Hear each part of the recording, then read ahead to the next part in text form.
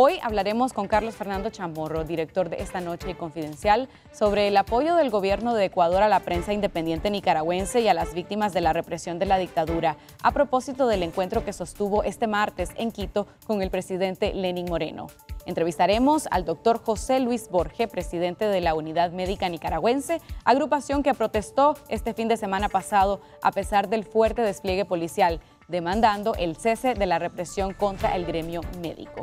Les presentaremos las reacciones de los consumidores ante el aumento de los precios de varios artículos de consumo básico, producto de la decisión del gobierno de eliminar las exoneraciones fiscales a 16 productos. Y a continuación tendremos el análisis del doctor Julio Francisco Báez, experto en temas tributarios. Al final del programa les presentaremos la crítica de cine en pantalla con Juan Carlos Sampié y la caricatura animada y comentada por PX Molina.